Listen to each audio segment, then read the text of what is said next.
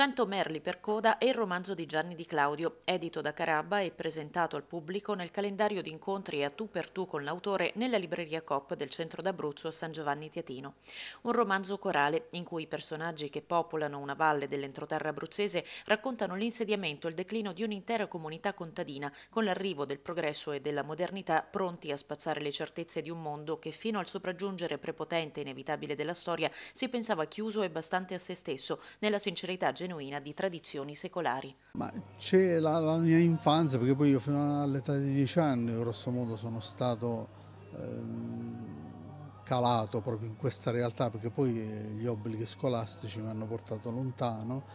però è continuato dentro di me il racconto attraverso le narrazioni di, dei miei nonni, miei zii, sin da piccolo ero affascinato dalle favole, no? quello che si dice che raccontavano le nonne e le balie accanto al letto degli infanti, io sono stato ferito da, queste, da questi racconti indelebilmente perché poi ne, sono ancora vittima, insomma, ricordo ancora con nostalgia queste, queste parole sussurrate finché non prendevi sonno e il sogno continuava il racconto della nonna poi in realtà. 100 merli per coda, perché questo titolo? 100 mele per coda perché mh, suggerito da, da, mia madre senza volere perché lei non sapeva cosa ne volessi fare, era un suo modo di dire per dire che lei era indaffarata e che comunque non aveva tempo da perdere per le altre cose perché aveva 100 cose per le mani, 100 merli,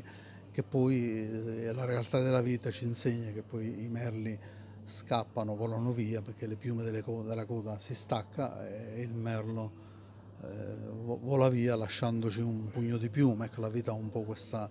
eh, la, questa frase è un po' la metafora della vita, insomma, che noi inseguiamo i nostri sogni, le nostre aspirazioni, poi tutto rischia un po' di frantumarsi, è difficile acchiappare veramente uno di questi cento merli, sarebbe già un gran successo insomma.